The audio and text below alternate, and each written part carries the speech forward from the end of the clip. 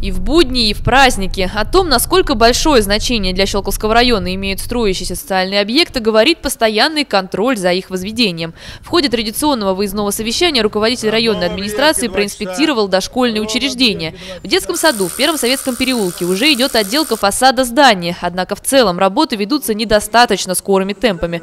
Так, строители еще не закрыли тепловой контур. У нас главная задача контур закрыть, этим мы занимались, да, вот утепляли фасад. В субботу мы должны поставить все окна, да, внутри уже ставить пушки и заниматься как бы отоплением.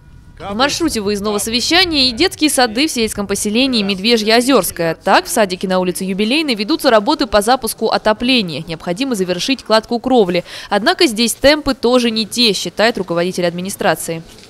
На данный момент сплошной обман везде. Не 115 человек, а человек 60 работает только. 60 человек работает, не больше.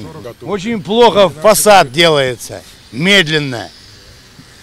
Не то количество специалистов, которое было заявлено, после праздников будет работать. В детском саду в Новом городке строители завершили кладку межкомнатных перегородок на двух этажах, вмонтировали часть оконных блоков, приступили к кровельным работам. Однако и здесь темп возведения объекта руководитель районной администрации не порадовал. Динамика есть, но не та, которая хотелось бы для нас. Будем дальше заставлять работать более интенсивно, привлекать больше специалистов.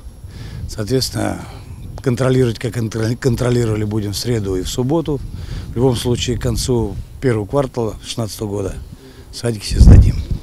В завершении выездного совещания в детский сад номер 59 «Золотая рыбка» в Щелкове. С наступлением холодов здесь возникли проблемы с отоплением здания, низкая температура в группах. Чтобы исправить ситуацию, установили еще один насос, а также планируют закупить дополнительные радиаторы. Контроль за ситуацией в детском саду будет продолжен, заверил Алексей Валов. Дарья Снегова, Игорь Поляков, телерадиокомпания «Щелково».